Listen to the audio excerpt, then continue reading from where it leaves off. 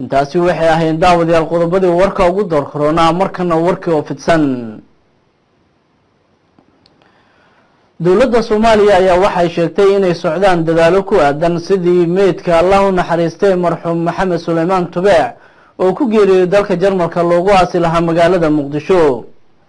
Wasiirka wasaaradda warfaafinta dowladda federaalk soomaaliya mudane mustaf dhuxlow iyo ku-xigeenkiisa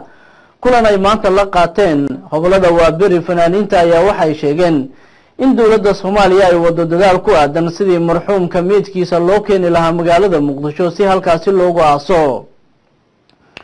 Kulanka ayaa wuxuu sidoo kale uu ku sheegay wasiirka warfaafinta in tacsiyo uu u dirayo eheladii iyo qaraabadii uu ka geeriyooday allah u naxariistay maxamed suleymaan tubeec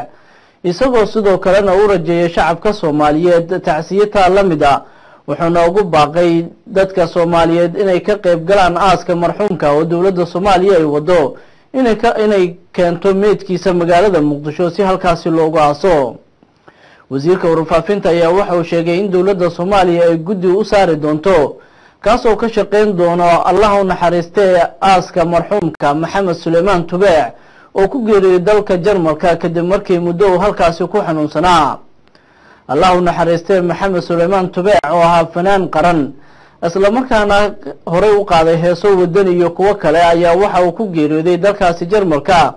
Isagoo isbitaal ku yaalla dalkaasi jarmalka muddo ku xanuunsanaa